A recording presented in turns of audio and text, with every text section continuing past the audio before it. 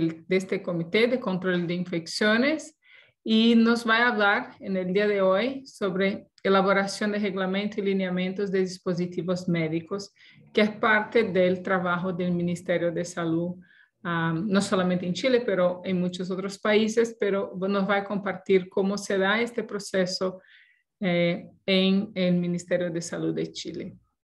Así que uh, Doctora Mónica, nuevamente muchas gracias por su participación y disponibilidad. Para nosotros es un gusto enorme tenerla ah, con nosotros hoy y bueno, quedamos atentos a lo que vas a compartir con nosotros. Muchas gracias.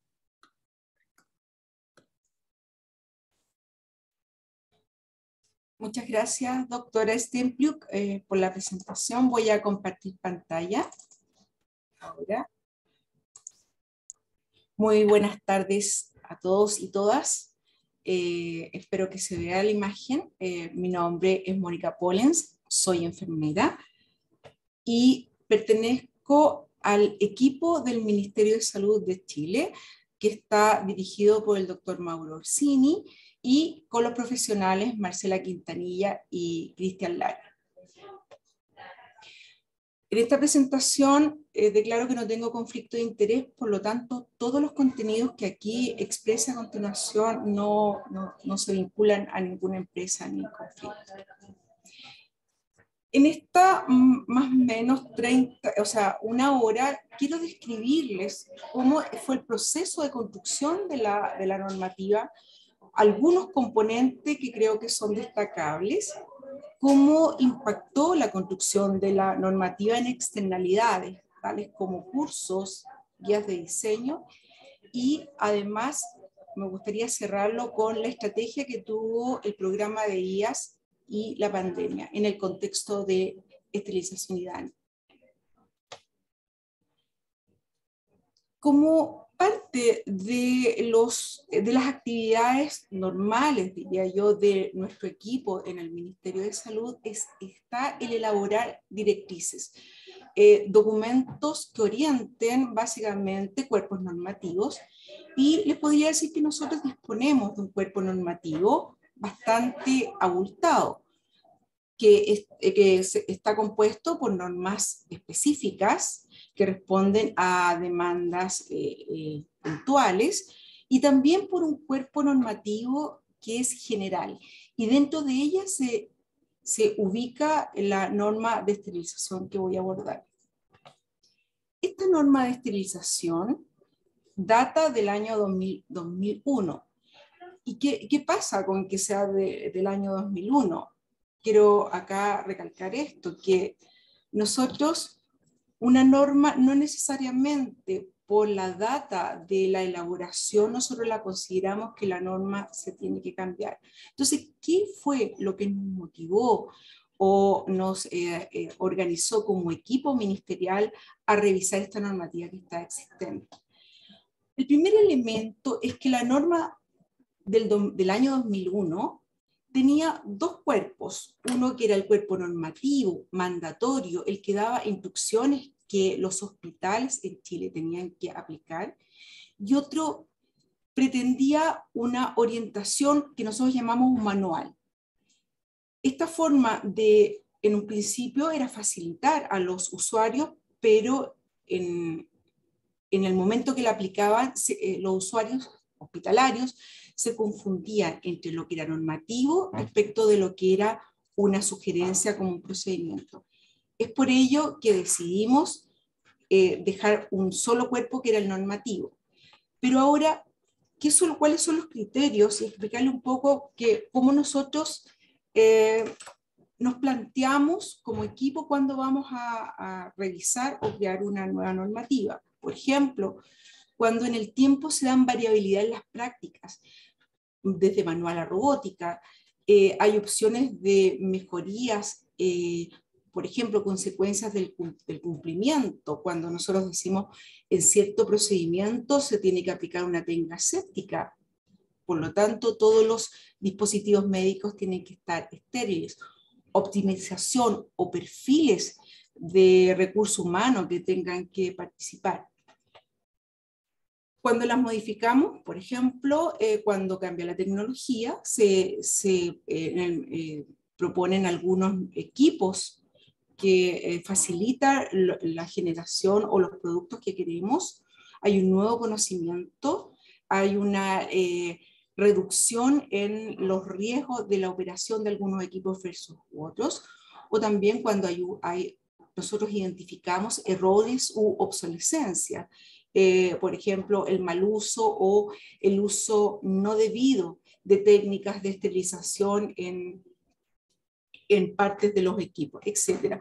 O, por ejemplo, en Chile, cuando ha cambiado eh, alguna forma de organización de los establecimientos de salud por ejemplo, hay mayor incremento de cirugías ambulatorias eh, o con tendencia a, o fortalecimiento al ámbito de atención primaria, etc.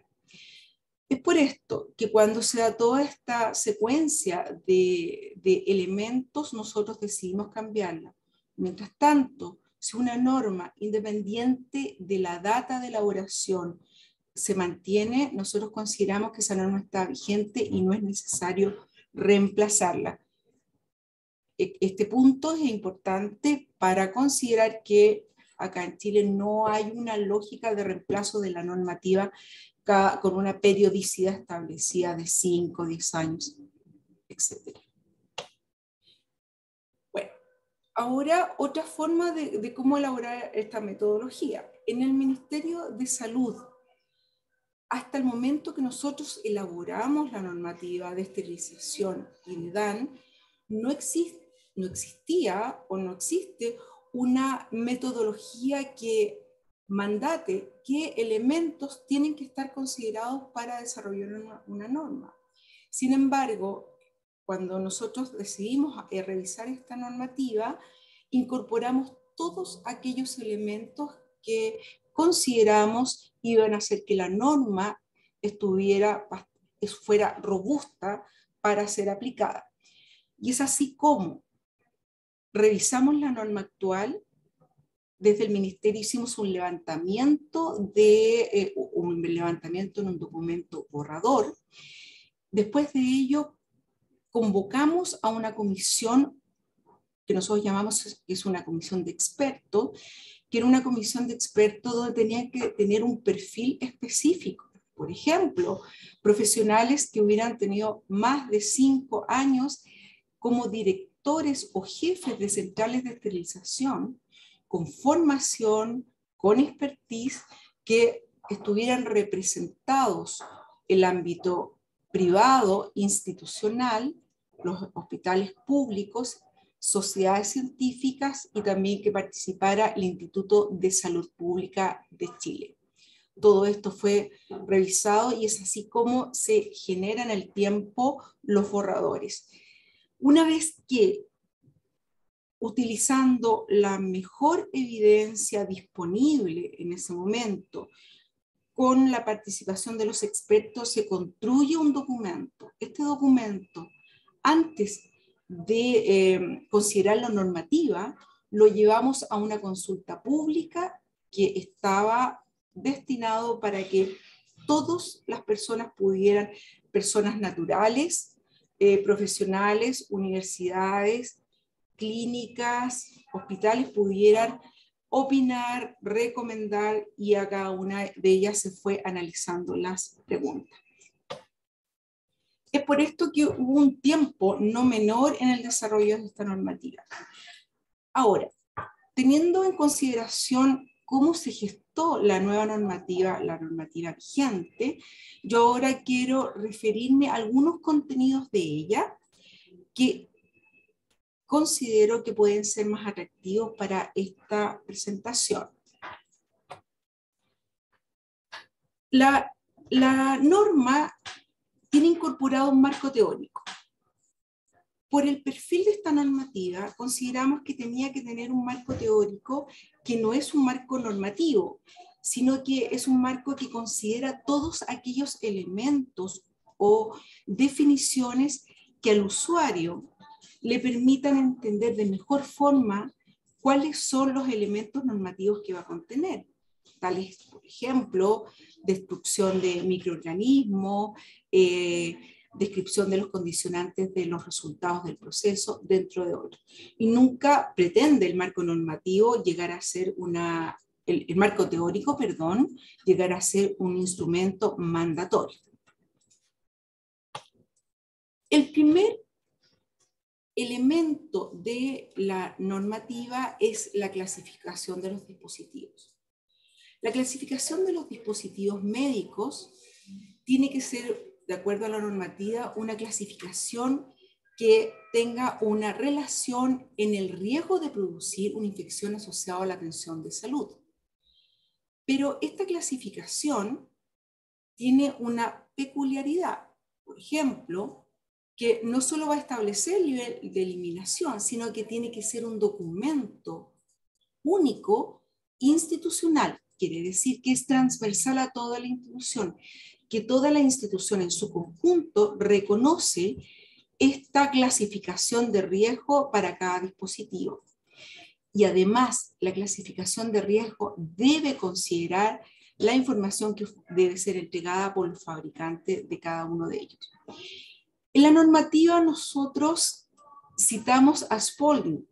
Sabemos que es de la década de los 60 pero es una clasificación que está ampliamente difundida, es una clasificación de, mm, racionalidad que eh, eh, agrupa de acuerdo a si son críticos, semicríticos y no críticos.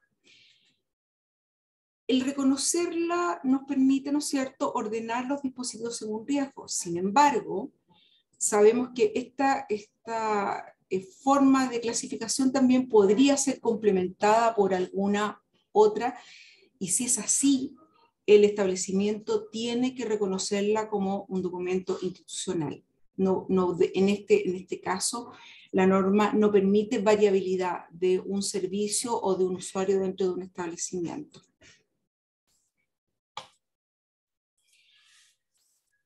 El concepto de proceso de esterilización IDAN está orientado a que el usuario entienda que el dispositivo como resultado estéril o de desinfección de alto nivel es un dispositivo que se sometió o pasó por diferentes etapas que son secuenciales y que todas ellas en su conjunto permiten el resultado de un dispositivo en condiciones estéril o. Cada una de ellas tiene ciertos atributos no pueden ser obviados en ninguno de ellos para que nosotros demos conformidad. Y ese es el propósito de la norma, que cada, cada etapa tenga una relevancia en sí.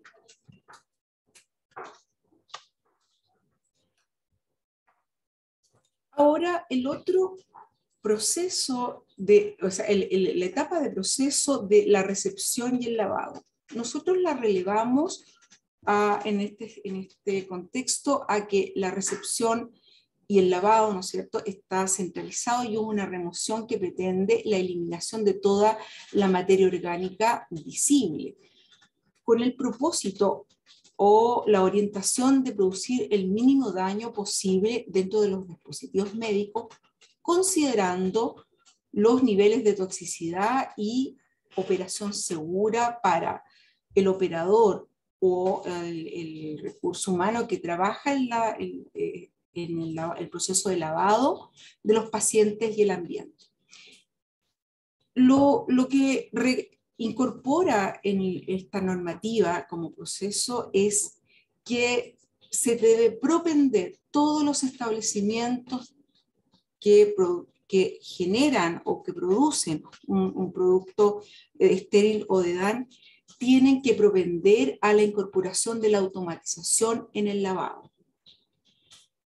¿Qué es lo que quiere decir esto? Que consideramos que el proceso de lavado automatizado nos permite una estandarización de los resultados, nos permite eh, una seguridad al homogenizar eh, la variabilidad que se puede producir entre eh, la exposición, por ejemplo, que las personas estén muy estresadas y un día puedan eh, tener un resultado muy diferente al esperado respecto del otro dentro del mismo recurso humano. Ahora, la evaluación de costos o el impacto que esto pudiera tener, eh, si bien la norma no lo menciona ni tampoco pretende incorporarlo, el, estudio de costo es de, que se recuperaría la inversión dentro de los primeros años de incorporado esta, esta, esta, esta, modalidad dentro del proceso. La, el, la recepción o, y el lavado manual no lo estamos eh, eh, identificando como sáquenlo o no lo incorporen más. Sabemos que el proceso de lavado manual sí es un elemento muy importante como capacitación y aprendizaje de recursos humanos que se van a incorporar en esta, en esta actividad. Por lo tanto, sí es un elemento que se debe mantener. En el, en el proceso secuencial pasamos a la inspección de los dispositivos médicos. Este proceso de inspección de los dispositivos médicos en la norma se destaca en el sentido de que el personal que tiene que trabajar en esta etapa es un personal que debe estar calificado o capacitado en el conocimiento de cada dispositivo médico respecto de las partes que lo componen, de cuál es la funcionalidad. Y además el espacio donde ellos deberían trabajar es un espacio que debe ser mesones amplios, iluminado, con restricción del flujo de, de, otras personas o de otros materiales, para que el proceso de inspección sea un proceso que cumpla un protocolo, que sea un proceso eh, que haya una eh, concentración en, en, esta actividad y que además permita ¿no es cierto?, a este personal que conoce las piezas que lo componen, ante la presencia de un mal funcionamiento, materia orgánica eh, visible, óxido o, manchas, que sean capaces de reemplazarlo y seguir el protocolo de, de un eh, estudio de en qué etapa y por qué pasó que no pudo seguir a la etapa siguiente. Ahora, el proceso de preparación o los sistemas eh, de barrera estéril. Este fue un elemento importante en la actualización de la normativa anterior. La normativa anterior no consideraba como sistemas de barrera estéril eh, y esto sí se considera como una condición.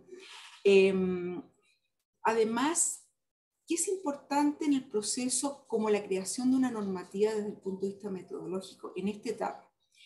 Que el establecimiento debe tener un protocolo que explicite todas las condiciones, cómo se va a ordenar los dispositivos dentro de, los sistemas de, barrera, cómo eh, eh, para permitir que efectivamente se expongan al medio de esterilización, que no sobrepasen eh, el peso que eh, no permita la contención o, que eh, no permita una buena o una adecuada apertura en el momento que el usuario lo va a, a requerir.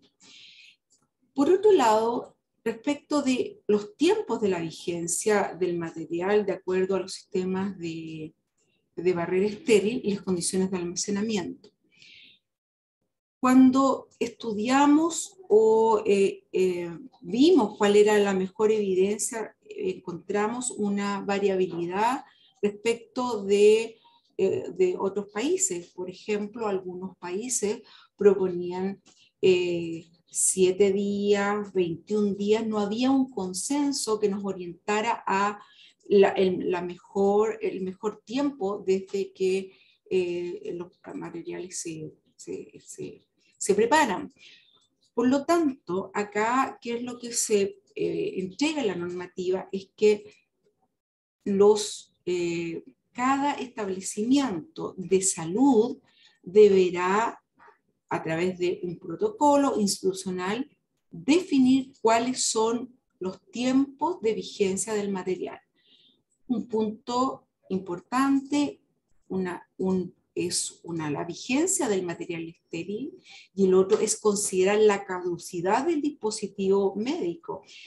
ambos tienen que eh, conversar si la caducidad del dispositivo médico, porque el dispositivo médico contiene, ejemplo, líquidos, eso es, primará respecto de la vigencia del material estéril. La normativa precisa o menciona cuáles serán los métodos de esterilización que son autorizados en Chile. Además de eso, considera los ciclos eh, y los parámetros que a los cuales cada método tendrá que cumplir para que sea autorizado como un método de esterilización. Y más adelante lo voy a hablar de DAN. Ahora bien, nosotros en este punto hemos mencionado todos aquellos métodos que de acuerdo a la evidencia estudiada eran métodos de esterilización. Algunos tienen algunas propiedades, ventajas o desventajas, y eso será una decisión de acuerdo del, nivel local, de los establecimientos que lo va a incorporar. La normativa o la unidad de IAS del Ministerio de Salud no está cerrado a la incorporación de nuevos métodos. Sin embargo, la, la norma es muy clara en que la incorporación de nuevos métodos no deberá ser decisión del usuario local, en este caso de las unidades de reprocesamiento de los dispositivos médicos, sino que será responsabilidad del Instituto de Salud Pública, que es una, entidad eh, en nuestro país regula la incorporación y el registro de, tanto de los fármacos como dispositivos médicos, en forma conjunta con el Ministerio de Salud. Los procesos de certificación los están considerados, nosotros sabemos que es un elemento más que nos ayuda a eh, tener una eh, seguridad respecto de que los dispositivos médicos sí efectivamente fueron expuestos al método de estilización que elegimos. Em, consideramos físicos, químicos y biológicos eh, recomendamos eh, la periodicidad, recomendamos la ubicación de ellos y, y, también indicamos cuál es la exigencia de, de. ¿Qué importa acá? Lo importante es que la normativa ayuda a que el establecimiento reconozca cuáles son los parámetros que tiene que esperar como normales y qué hacer cuando estos parámetros no están dentro de los rangos de normalidad. Por lo tanto, la normativa orienta a que la institución reconozca cuando está frente a un eh, eh, indicador que no está en conformidad, por ejemplo, pabellones. ¿Y qué tiene que hacer? Cada, cada país en el caso de Chile tiene una lógica de cómo funciona cuando un paciente fue, eh, por ejemplo, se sometió a un procedimiento quirúrgico con un dispositivo que no estaba en conformidad o no estaba un dispositivo estéril. Y eso es lo que nosotros eh, dejamos claramente identificado en la normativa. También lo mismo, estamos abiertos al desafío de la incorporación de nuevos sistemas eh, de, indicadores eh, con un análisis de sensibilidad y especificidad. El almacenamiento. Les cuento que la norma del año 2001 pretendió apoyar a los usuarios en el almacenamiento, pero era tan precisa que identificaba centímetros de distancia de los anaqueles o, estanterías donde se almacenaban. Y esto provocaba de una otra forma complicaciones porque en Chile existen sistemas de evaluación externa a los establecimientos de salud y como tales aplicaban en forma precisa eh, esto, esta, eh, centímetros o distanciamientos que se proponían en la normativa. Es por ello, y recogiendo las, las condiciones de seguridad y eh, propiedades que debe tener el, recinto de almacenamiento, es que pusimos parámetros como rangos de temperatura de 18 a 24 grados, de humedad, entre, y también no solo pusimos eh, centímetros de distancia, sino que colocamos condiciones, por ejemplo, que estuviera libre de polvo, que hubiera una restricción del flujo y también que la, zona central o recinto de almacenamiento solo estuviera destinado para dispositivos en condición de estéril o DAN para específicamente eh, terminar con estos errores que se pudieran dar.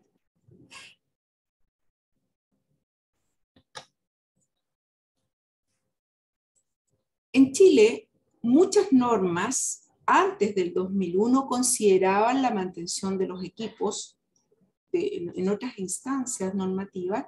Sin embargo, la normativa del 2001 no la consideraba en forma explícita.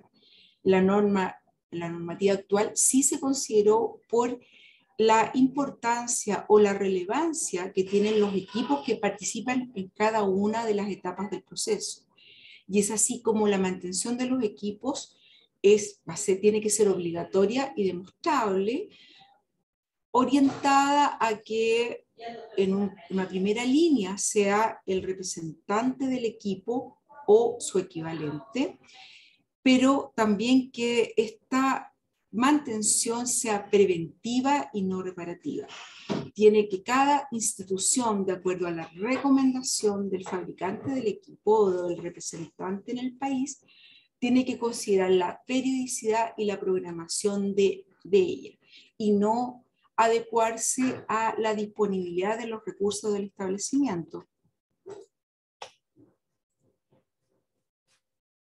Elemento, creo que es el elemento número nueve de nuestra normativa, es el concepto de centralización.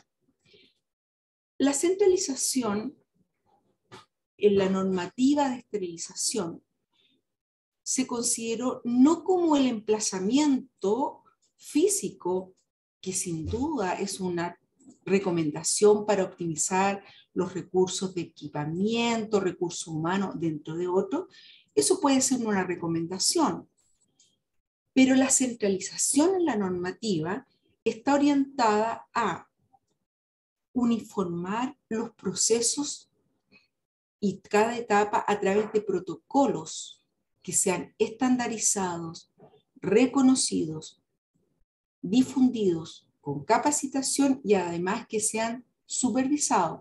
¿Y por quién?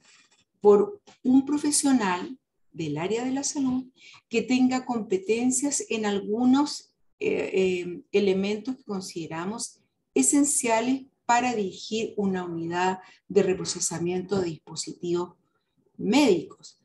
Además, todos, además la centralización incorpora que cada uno de las personas que trabajan en las etapas del reprocesamiento para la producción de dispositivo estéril, tiene que depender técnica y administrativamente de este profesional del área de la salud.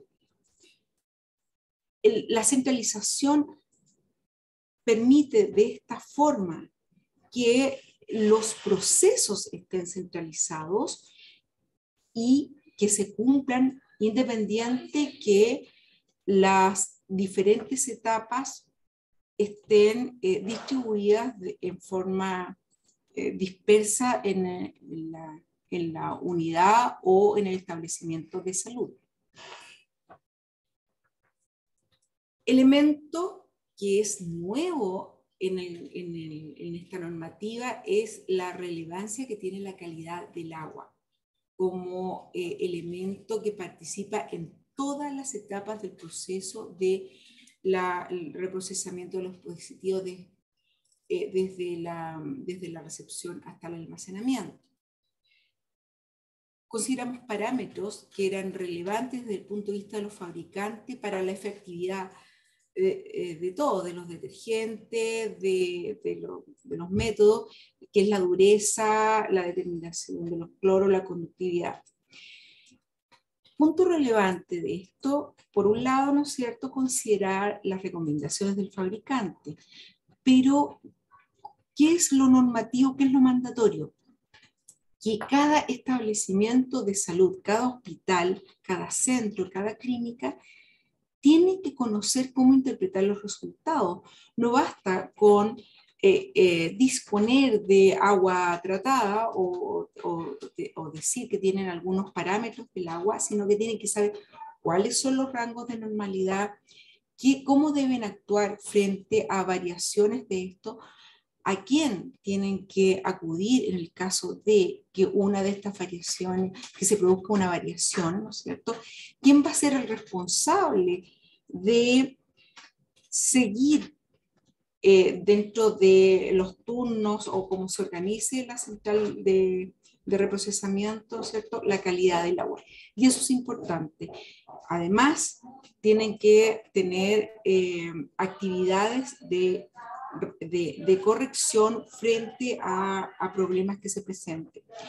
La determinación o la dureza de acuerdo al país o a la región es muy variable y eso cada, cada centro en nuestro país tiene que analizarlo. ¿Qué pasó con el reprocesamiento del material definido como, de un solo uso? Nosotros eh, ante la normativa nos enfrentamos a esta eh, disyuntiva. Al analizar o estudiar qué pasaba en los países, no encontramos eh, estudios robustos que nos garantizaran, ¿no es cierto?, la, eh, la, integridad de los dispositivos que el fabricante recomendaba como de un solo uso respecto de, em, de la seguridad para lo cual estaba fabricado, por un lado, y por otro lado, de la garantía que al pasar por el método este de, exponerse al método de esterilización o eh, al lavado o al, al, montaje pudiera ser funcional. Además, ¿cuál fue nuestra experiencia al momento de elaborar la norma? Encontramos que habían eh, situaciones de países o conglomerados de países que lo descartaban todo y otros países que lo reprocesaban todo en los casos de los dispositivos de un solo uso. En Chile existe, yo se los había mencionado, el Instituto de Salud Pública, y el Instituto de Salud Pública por ley está mandatado a el registro de los dispositivos médicos y cuando el fabricante dice que es un dispositivo que se debe descartar porque es de un solo uso, ellos no pueden hacer una secuencia y eh, estudiar cuántos eh, reprocesos resiste ese dispositivo que estaba para un solo uso. Por lo tanto, se decidió que si es de un solo uso no se puede reprocesar. Sin embargo, consideramos algunas excepciones. Por ejemplo, cuando eh, un dispositivo no entró en contacto con ningún otro paciente y hubo una apertura y no se utilizó. Si el dispositivo es reconocido, cuál es el método de, esterilización o de DAN, el, la institución de salud dispone de ese método y puede reprocesarlo, se acepta. Cuando la fecha de vencimiento está expirada en un equipo sin uso, podría ser, o equipos que son únicos, que son de muy, muy alto costo y son únicos y tienen una relevancia respecto de la vida del paciente. cuándo un, un dispositivo médico puede ser reutilizado y se usó en el paciente solo en los filtros de hemodiálisis cuando son utilizados en el mismo paciente. Por lo tanto, los dispositivos de un solo uso en Chile no se aceptan en su reprocesamiento solo en, en, en, esta, en estas excepciones que he mencionado.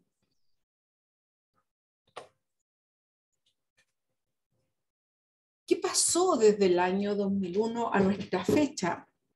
En nuestro país cambió la modalidad de obtener un servicio. En, las décadas anteriores, cada institución en Chile que iba a utilizar un dispositivo médico en los hospitales lo generaba, lo producía, lo, tenía todo el proceso de, unidad de, reprocesamiento. Sin embargo, en, los últimos, las últimas décadas existen empresas que proveen, no siendo de salud, proveen de dispositivos, de dispositivos en calidad estéril o DAN. Por lo tanto, la norma del 2001 no los consideraba. Y, en ese sentido había un sesgo, que quería decir que las instituciones de salud eh, estaban normados y mandatados para lo que ellos produzcan, pero este mandato no aplicaba para las, para las empresas o los proveedores de terceros. La norma los considera, los considera a través de, ¿cómo los considera? Por un lado dice que el hospital o la clínica que compre a terceros es el, profesional que está a cargo de, la unidad de reprocesamiento de dispositivos médicos el que tiene que verificar que al que le compra cumpla con la normativa ministerial. Y esto puede estar estipulado, por ejemplo, en, la, en, la, en las cláusulas de, compra.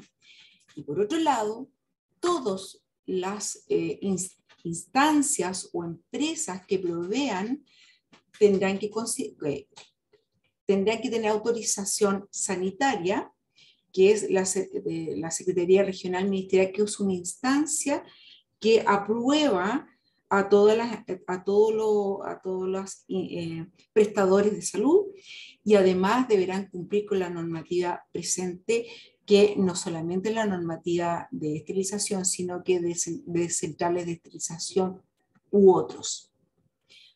¿Cómo lo van a eh, Tiene que también tener un proceso de verificación. El proceso de verificación desde el que compra a esta empresa será porque le aplicarán pautas, la periodicidad dependerá cómo se organiza el hospital o la clínica, pero tendrá que de alguna forma dar una respuesta que efectivamente sí ellos pueden dar garantía que todos pasan por las etapas para el reprocesamiento. Desinfección de alto nivel, lo mismo que los métodos de exposición de esterilización, están reconocidos cuáles, em, cuáles son las concentraciones, eh, las temperaturas, cuáles son los elementos de protección de los operadores. Y para lo mismo, para los métodos de esterilización, en Chile no se reconoce ningún eh, desinfectante de alto nivel que no haya, por un lado, que esté inscrito como tal en la industria salud pública y por otro, complementariamente, reconocido a través de la normativa. Entonces, tienen que estar estas dos variables para que el hospital, en este caso público, incorpore un dispositivo de alto nivel. ¿Por qué hago este hincapié? Porque eh, un, fabricante o un representante puede ir al Instituto de Salud Pública y inscribir un, desinfectante y decir que sirve para eh, desinfección de alto nivel. Sin embargo, para que sea reconocido y aplicado, el ministerio tiene que hacer un estudio, ya sea con universidades o con empresas eh, de apoyo que nos efectivamente nos digan que el desinfectante es para lo que dice el proveedor que lo está inscribiendo en el Instituto de Salud Pública. ¿Qué pasa con que esto es un es una rutina en los hospitales, al menos en los hospitales chilenos, que una institución tiene clasificados sus dispositivos, tiene identificado el método de esterilización IDAN y tiene todo ordenado, pero eh, algún equipo eh, de, médicos o de otra instancia de salud eh, proponen a la institución incorporar un nuevo dispositivo médico. Este nuevo dispositivo médico, como pasaba antes en, perdón, En nuestro país, y les voy a comentar, en nuestro país antes, eh, en general, los médicos iban con algún dispositivo que lo habían ido a un congreso o a otro lado y se lo, llevaba, lo llevaban y se lo presentaban a la central de esterilización y le decían, eh, esterilízamelo o ve cómo lo hace. Ahora, ¿qué pasa con esto? O, dice llanamente, lo llevaban al pabellón y lo, lo incorporaban. Dentro de la normativa, todos los nuevos dispositivos que se incorporen a una institución de salud en Chile, a un hospital, tienen que ser evaluados en la, en la unidad de reprocesamiento de dispositivos médicos central de Sonodan y además debe participar el equipo de control de, de IAS de local. Nosotros en Chile todos los establecimientos eh, públicos, privados, tienen un equipo de profesional altamente calificado en, eh, infección asociada a la atención, prevención y control de infección asociada a la atención de salud. Por lo tanto, este dispositivo, antes de ser ingresado al establecimiento, debe pasar por la evaluación de, todo este equipo profesional.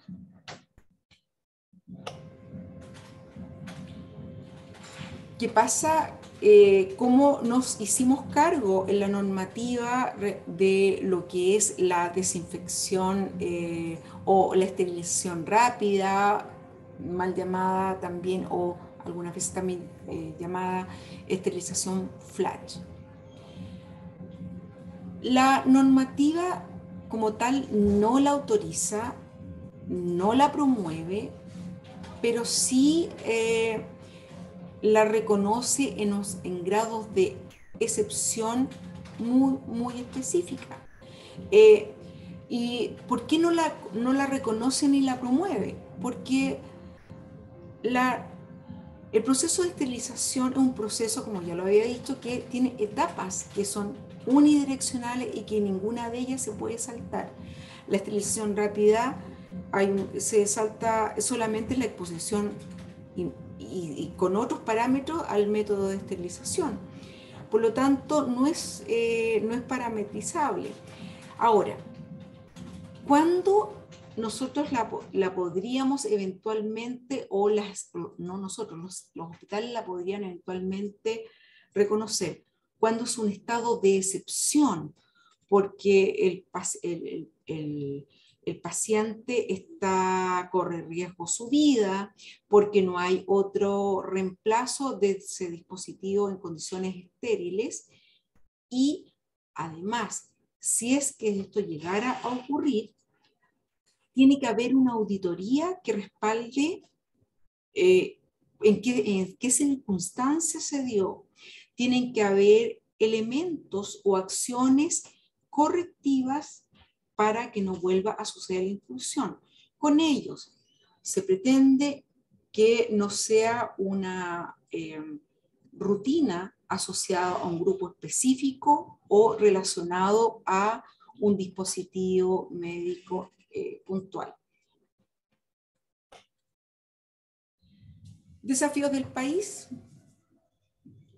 De la normativa, siempre eh, la normativa está eh, abierta a nuevos métodos, no solo de, esterilización de DAN, sino que de, certificación de indicadores.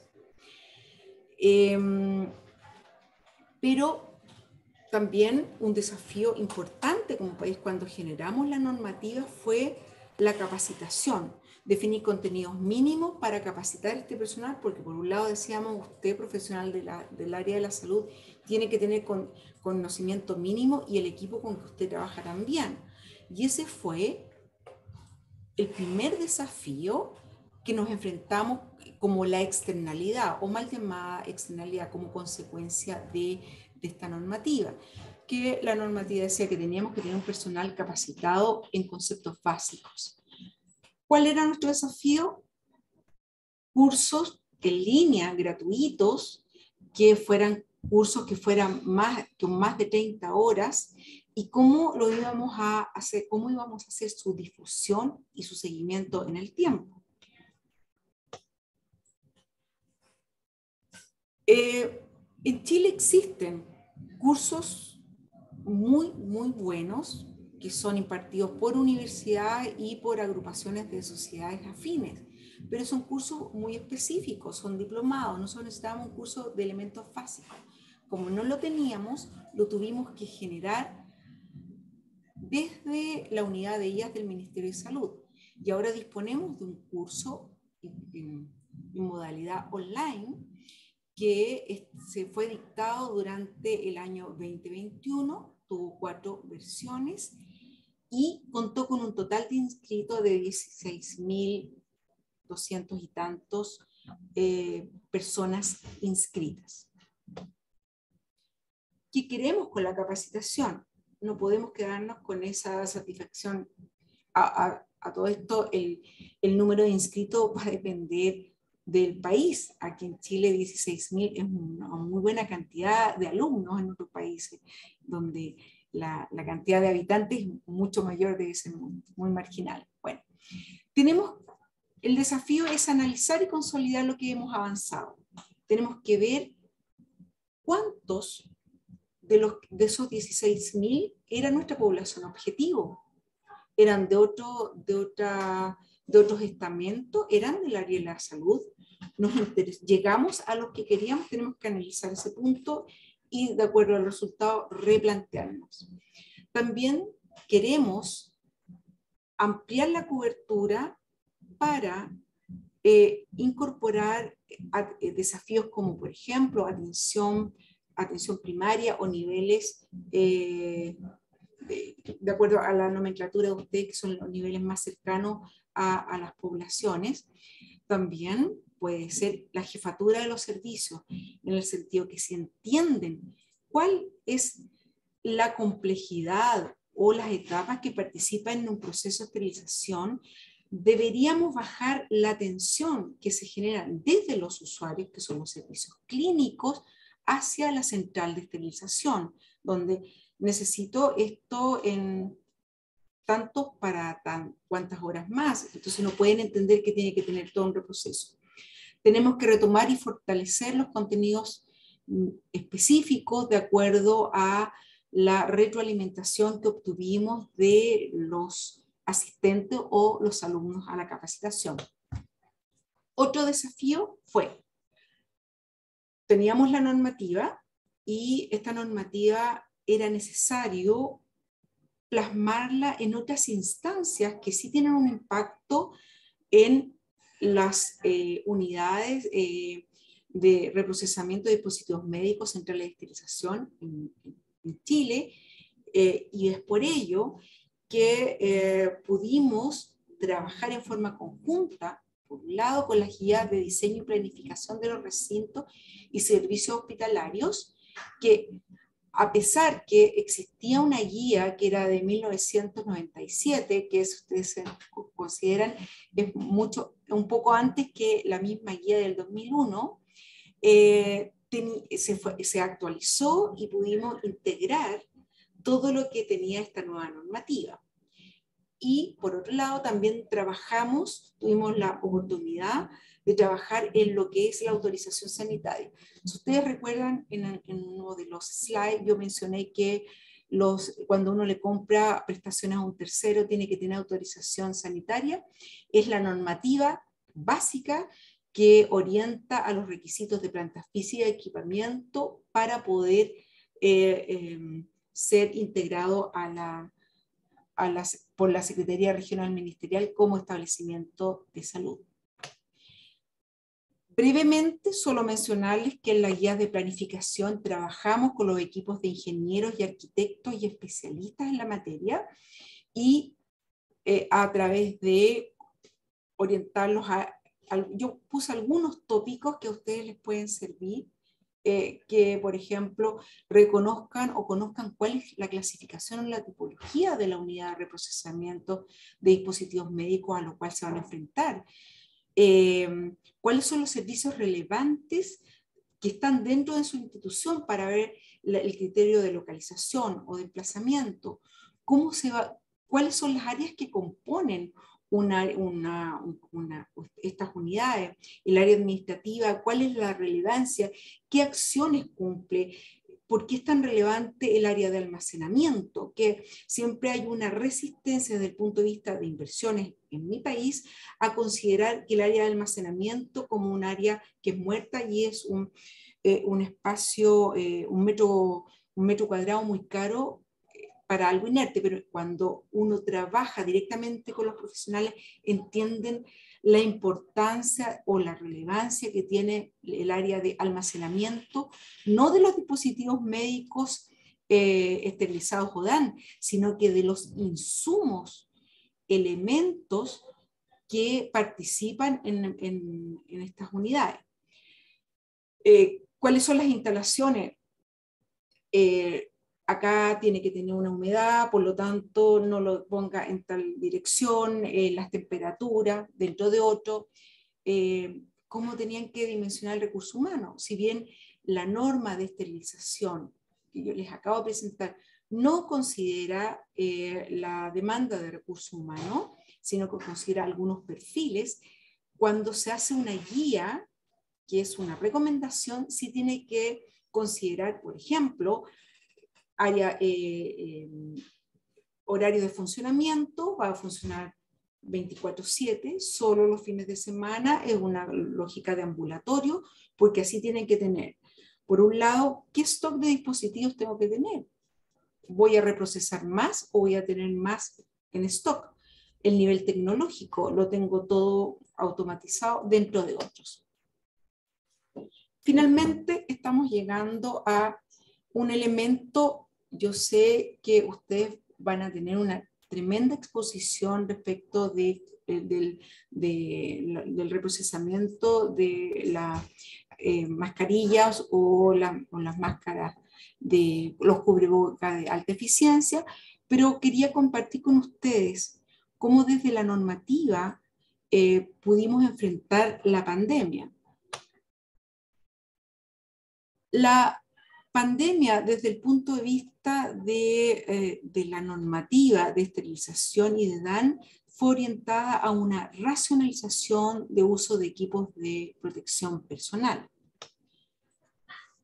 En términos generales, como unidad de infección asociada a la atención salud del Ministerio, con el apoyo de toda la red asistencial en todas las instancias de organización de Chile, eh, iniciamos desde los desde los primeros momentos, acá hay un documento del 30 de enero,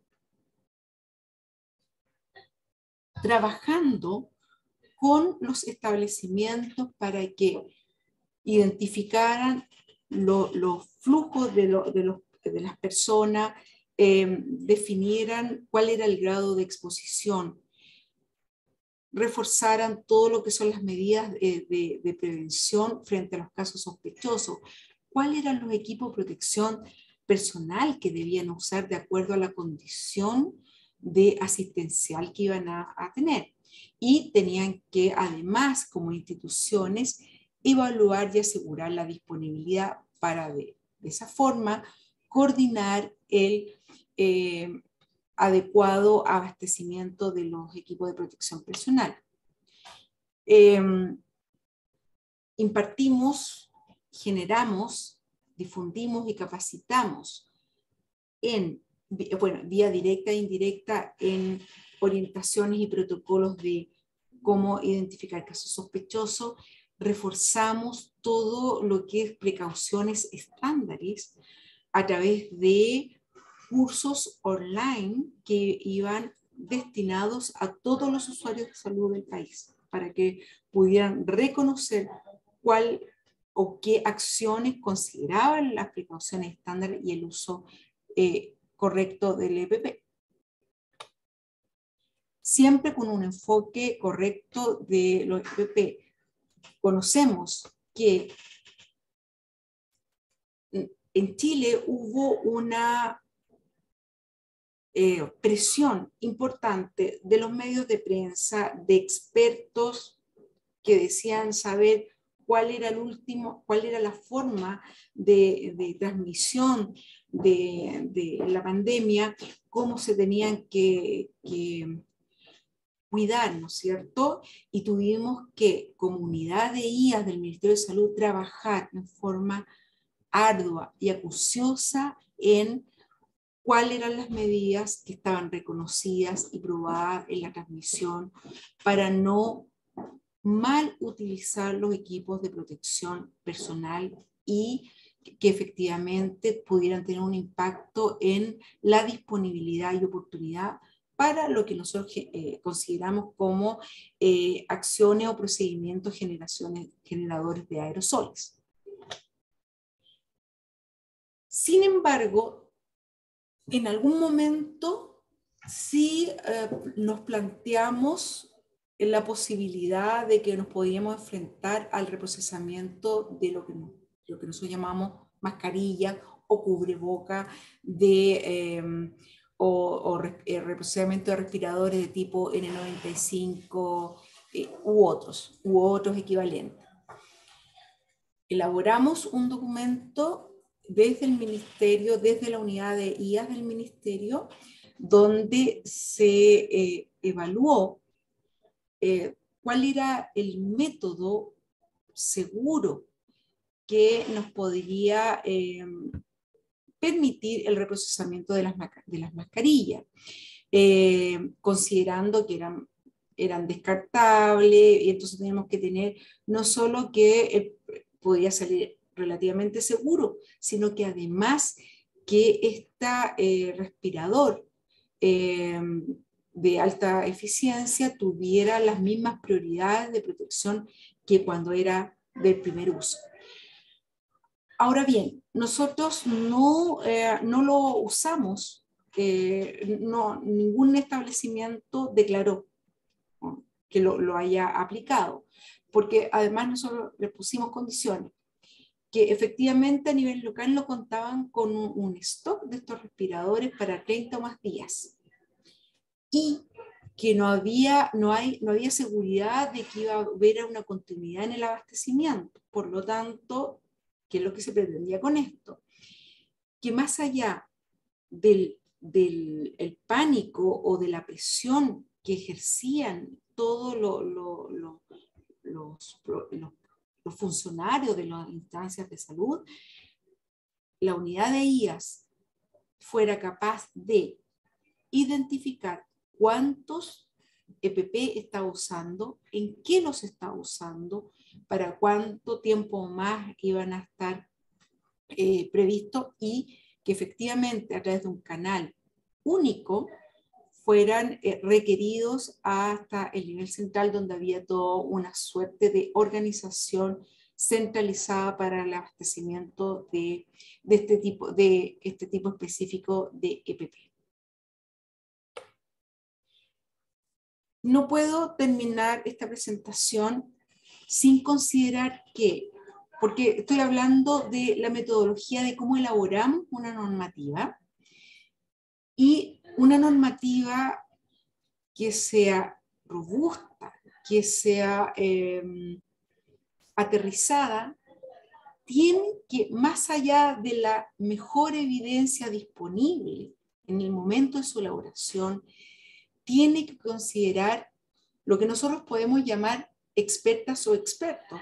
En este caso, a través de la señora Marcela Salina y Elizabeth Carson, quiero representar a todas las personas que generosamente trabajaron en la creación de la normativa ella específicamente porque estuvieron en todos los procesos de la elaboración de los contenidos básicos de los cursos y han estado siempre presentes. Y es por ello que es importante como una entrega desde la unidad de infección social, atención de salud del Ministerio de Salud de Chile, este elemento.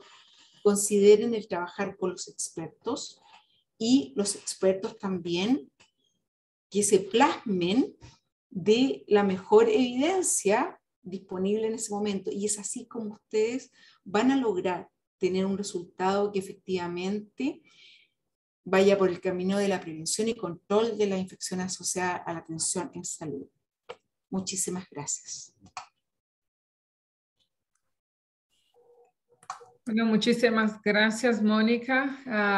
excelente presentación. Ha sido muy esclarecedora de todo el proceso de elaboración e implementación de una guía que es un proceso largo y, y, arduo, muy, muy difícil, pero que ustedes completaron con éxito y es fundamental para, para los servicios de salud, ¿verdad? Para que ellos puedan tener uh, una norma nacional donde puedan respaldar uh, su actuación. Tenemos dos preguntas en el, en el chat, pero antes quería yo te hacer una pregunta era justamente, y, y perdona si me perdí eso, pero ¿qué dice la norma sobre la implementación de, esta, de las recomendaciones que están en la norma? ¿Los hospitales tienen que tener protocolos propios uh, para, para implementar? ¿Hay que adaptar la norma? ¿Y cómo, cómo que ustedes hacen el monitoreo de esta implementación? Gracias. Muchas gracias, doctora Stempluk por la pregunta. Em,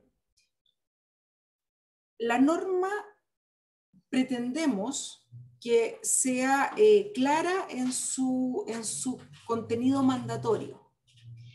Y como la, en Chile existe una gran variabilidad de instituciones que imparten salud, lo que nosotros orientamos a que cada institución genere sus protocolos propios únicos. Ahora bien, la, segunda parte de la pregunta, ¿cómo nosotros nos hacemos parte efectivamente de que ellos lo cumplan? Eh, la unidad de IAS del Ministerio de Salud eh, dispone de una evaluación externa de los elementos del, perdón, del programa de, de IAS, que es la norma 124, que se aplica a todos los establecimientos de salud. Además, existen otros eh, elementos que permiten evaluarlo. Por ejemplo, nosotros en Chile disponemos de un proceso de acreditación de los establecimientos que sí considera en forma bastante eh, importante todos los que son los procesos de salud. Además, eh, pero esto es bastante indirecto y quiero ser, no quiero ser pecar de, pretenciosa. Como nosotros tenemos un sistema de vigilancia que lo llevamos a, a, nivel del, del, Ministerio de Salud y también hay otras instancias en el Ministerio de Salud que hacen una suerte de, de, de, de, gerencia de esterilización y pabellones, trabajamos en forma conjunta y vamos viendo o monitorizando qué está pasando. Por ejemplo, porque un hospital está pidiendo al equipo de inversiones de la otra unidad eh, incorporar un, un, equipo o un método o el Instituto de Salud Pública nos consulta o estas otras instancias de gestión ministerial. Entonces, es una suerte de alianza que nos permite acercarnos a apoyar a, los hospitales. No quiero decir con esto eh, que nosotros tengamos eh, totalmente, no es nuestro propósito estar siguiendo a los hospitales, sino que nuestro propósito es el apoyo constante para la prevención y, y seguridad. Ok, muchísimas gracias. Bueno, hay hay tres preguntas en las preguntas y respuestas y por favor, si ustedes tienen más preguntas, pongan en, en el pestaña de preguntas y respuestas. Eh, una es sobre el impacto de la capacitación ah, que ustedes hicieron luego de ah, haber editado la norma. creo que tú has comentado que ustedes tuvieron, bueno, número de participantes, pero que también ah, después pudieron eh, seguir a la gente incluso para poder aprimorar el curso. ¿Se podría elaborar un poco más sobre el impacto de la capacitación? Bueno, nosotros cuando generamos este, este curso con sus contenidos y se pone en una plataforma eh, ministerial, nosotros lo que ah, hicimos fue eh, como grupo, como equipo de IAS, eh, seguir a cada uno de las personas que iban consultando los contenidos. ¿sí?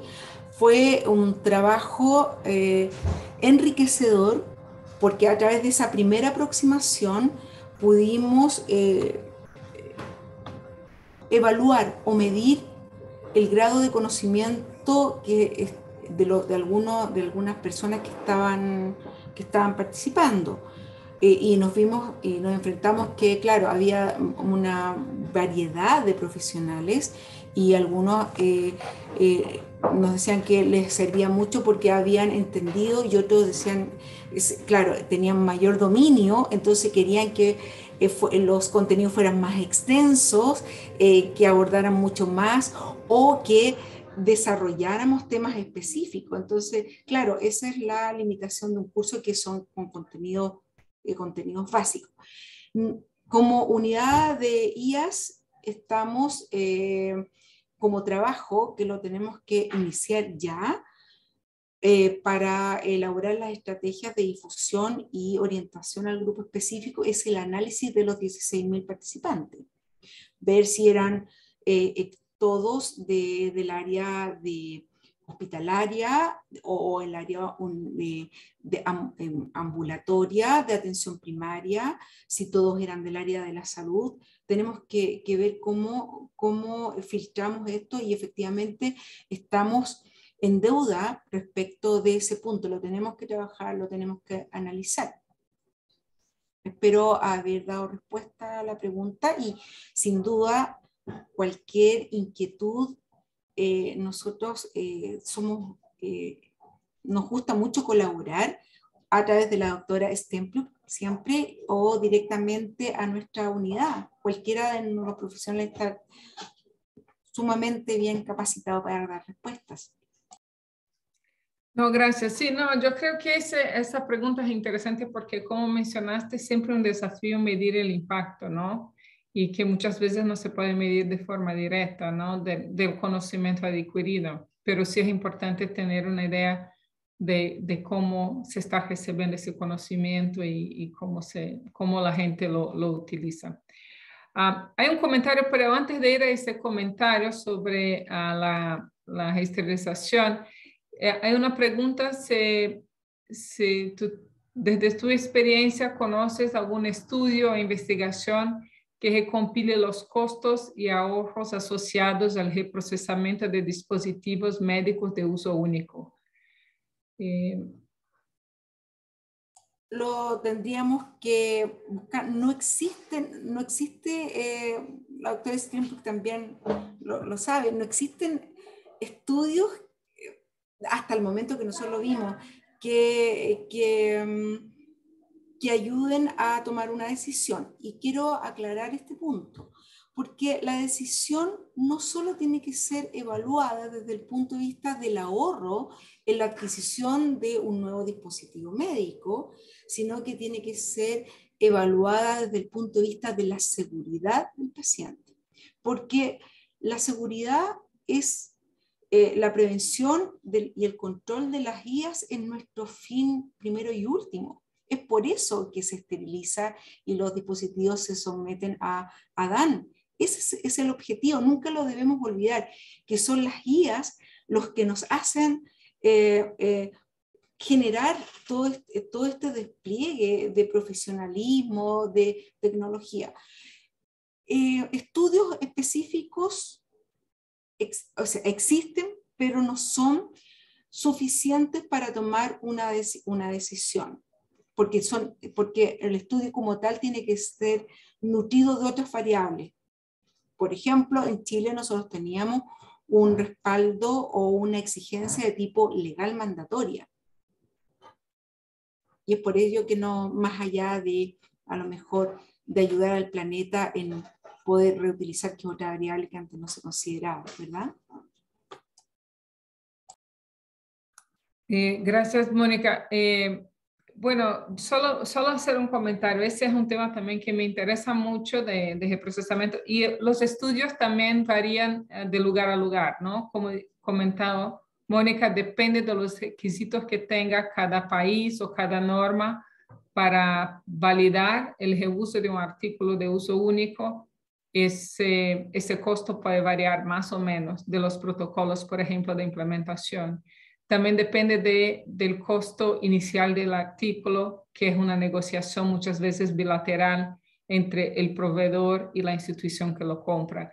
Entonces, ah, el mismo artículo puede ser que valga la pena reprocesar en un servicio de salud, dependiendo de la demanda, del costo inicial, del costo del protocolo para validar ese reprocesamiento y no vale la pena en otro tipo de servicios de salud.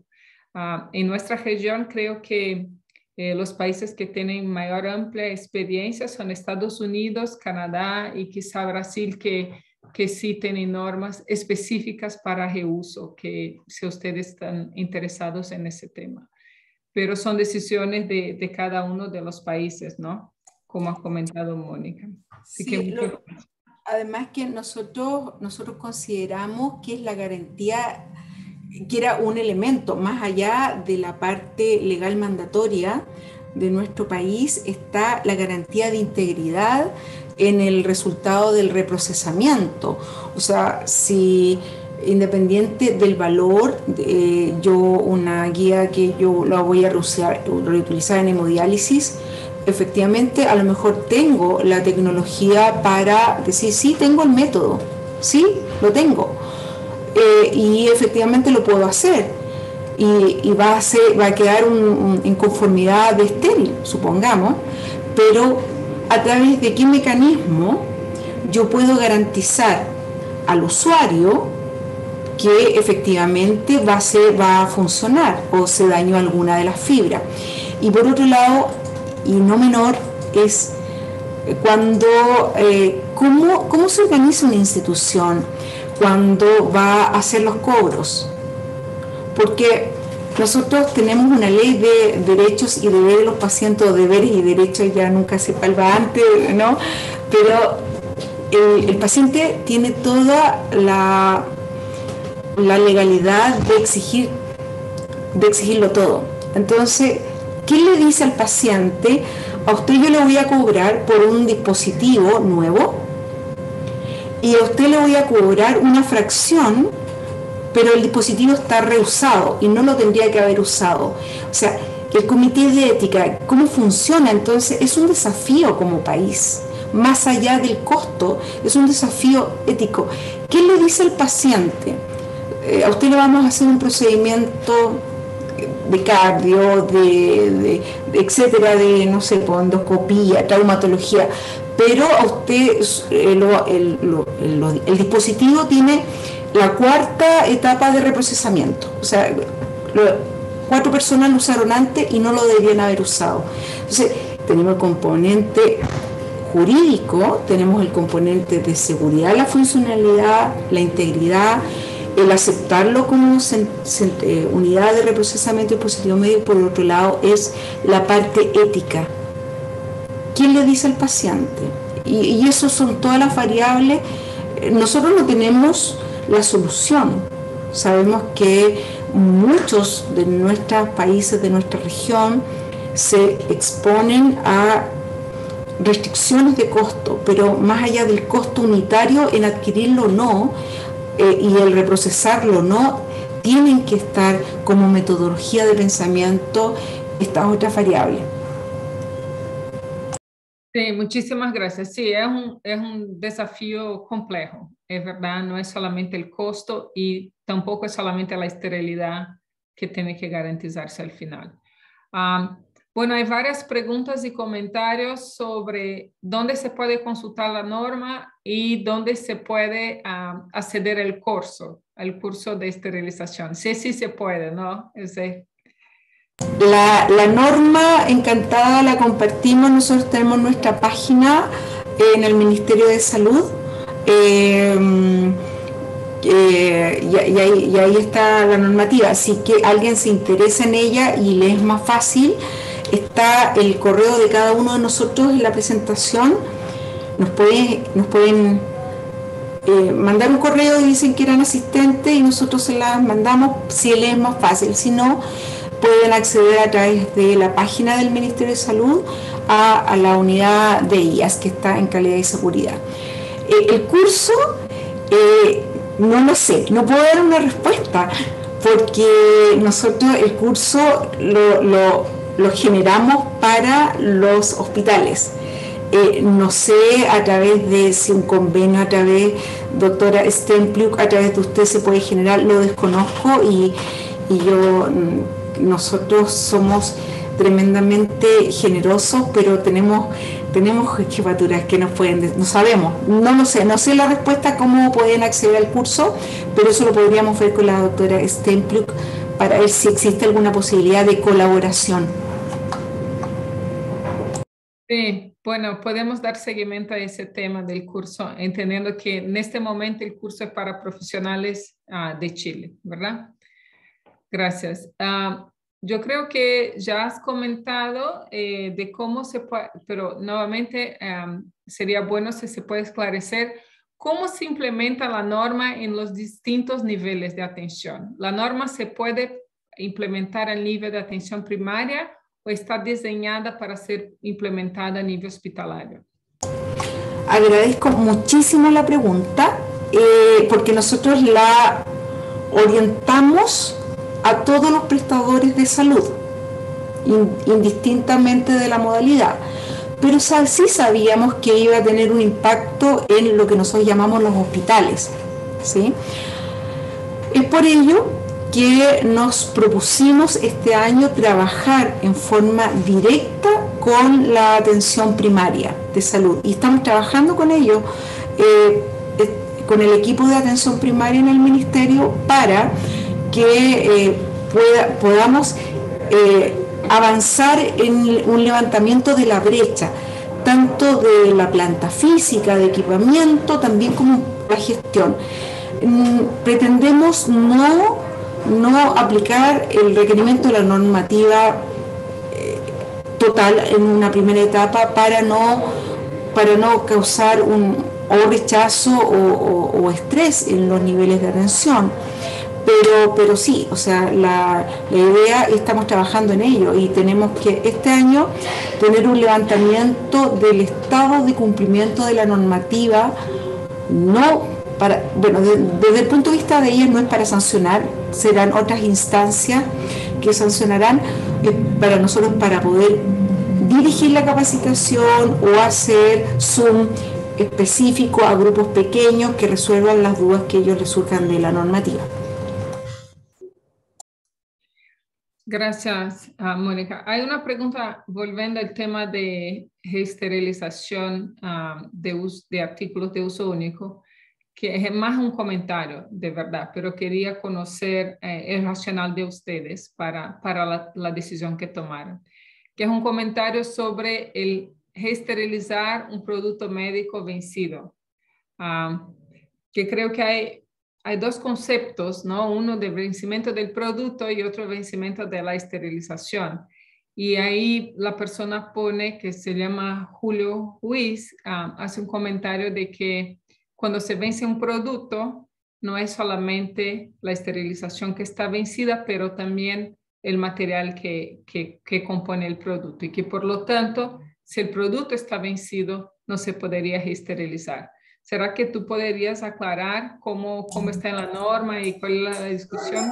Sí, eh, disculpa porque posiblemente no fui clara. Eh, nosotros reconocemos el vencimiento de la esterilidad. Y, por otro lado, reconocemos la caducidad del dispositivo médico, ¿sí? Para no hablar de vencimiento y vencimiento. La caducidad habla del dispositivo y eso lo indica el fabricante. ¿Por qué? Porque tiene a lo mejor eh, aceites líquidos o elementos, no sé, pues de algún polímero que con el tiempo pierde su funcionalidad. el fabricante dice, esto dura tres años, por ejemplo. Sin embargo, el establecimiento, de acuerdo a si el sistema eh, de barrera estéril se mantiene indemne, ha tenido todos los indicadores en conformidad, se ha almacenado de acuerdo a los parámetros que, eh, se estipularon y nunca se usó, pero la data de vencimiento, porque el, la institución de salud decidió que cada, no sé, tres meses y no lo, no lo usaron y nunca lo, lo, podrían en ese sentido reprocesar. Espero haber dado respuesta a ello. Entonces, una cosa es la caducidad del dispositivo, que eso es nada, no hay nada que hacer. Nada, nada que hacer. Si el fabricante dice está caducado, nada que hacer. otra cosa es la fecha de vencimiento del proceso de esterilización, que tiene condiciones. El, sistema de barrera eh, indemne, es que esté eh, con todo y que se haya tenido un registro de que efectivamente se, almacenó y se guardó en las condiciones.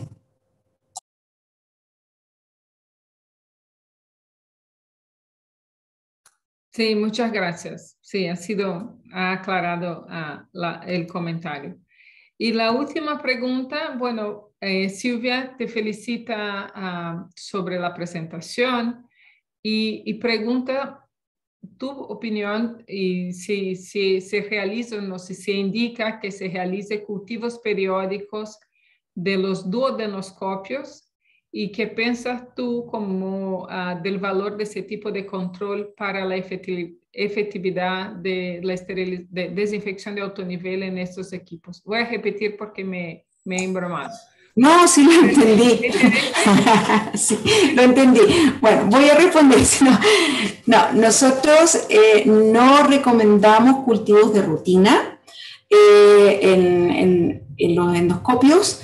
Sí eh, indicamos que se deben cultivar cuando hay una relación con un brote. ¿Sí? La institución tiene que tener eh, nosotros no lo recomendamos como rutina porque la evidencia que consultamos hasta ese momento no era sólida respecto de una práctica versus el costo o la, o la posibilidad. Además que si nosotros lo cultivábamos, lo teníamos que dejar en espera del resultado, entonces teníamos que efectivamente ver si, si la acción tenía una respuesta de la seguridad. Silvia, nuestra pregunta, sí, gracias. Sí, muchas gracias. Creo que ya no tenemos otras preguntas. así que, bueno, y también estamos como sobre la hora. Quería una vez más, Mónica, agradecer tu participación. Ha sido excelente la presentación.